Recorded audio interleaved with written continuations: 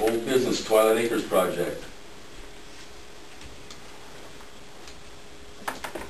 Um, We had the uh, pre-construction meeting today with Isaac from DGR, Isaac Ringenberger from DGR, Dave Ernst from Watts Electric.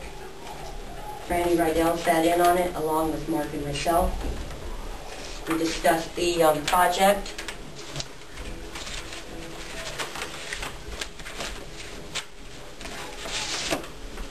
Um, The contracts have been sent from the contract back to the engineer, from the contractor back to the engineer.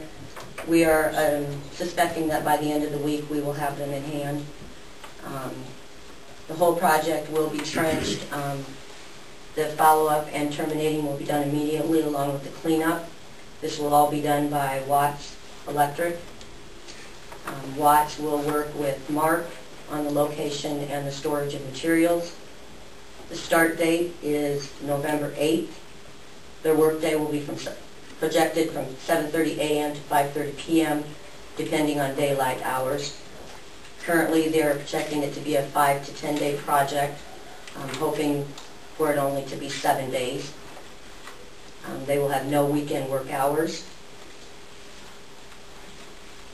They're going to start at the substation and work their way to Twilight Acres.